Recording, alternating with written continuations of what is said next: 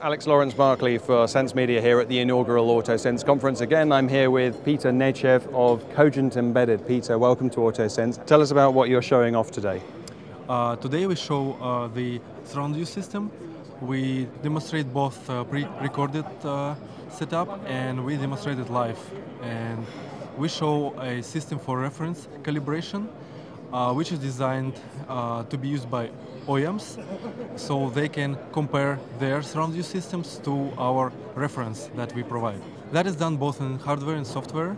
So we uh, do mechanical design, we place cameras into proper angles, and also we do optical design, so we uh, choose proper lens.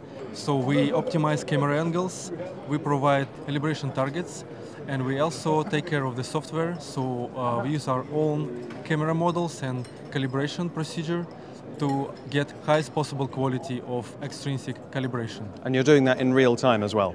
Yes, so we have a different system for uh, online calibration, uh, which we call automatic calibration, which uh, allows users to adjust the camera angles uh, automatically uh, in a production vehicle. I understand you've also got some just pure software solutions as well? Today we are showing uh, Renesas H3 SoC with uh, Salvator X board, which supports up to eight cameras.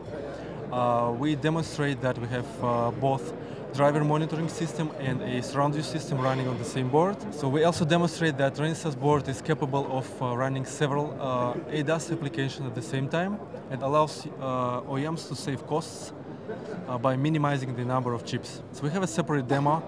It's running on Qualcomm 820 SoC, running Android and we have an application uh, under Android uh, which is also doing surround view with all functionality. And, and the last box you've got demonstrated is actually running on a tablet, isn't it? What's that? Yes, we also have uh, a solution running on a tablet. Basically, any Android tablet can be used for that, and that is intended for aftermarket applications when users do not really want to modify their vehicles. At Cogent, we provide uh, solutions for production uh, and for research. Here we see uh, an, example of our research-oriented product, which is a video box. It's based on Renesas R-Car H2 chip, and it has four camera inputs, uh, CAN bus, and HDMI plus USB outputs. So it can be used uh, as a surround view uh, box or it can be used as a data logging device. So is, is this a, a, development system specifically for people building new systems or is this a deployment system to actually put in cars once the system has been developed? It is a development unit intended for installation in a vehicle, so it is rugged and it has uh, easy mounting uh, holes. Thank you.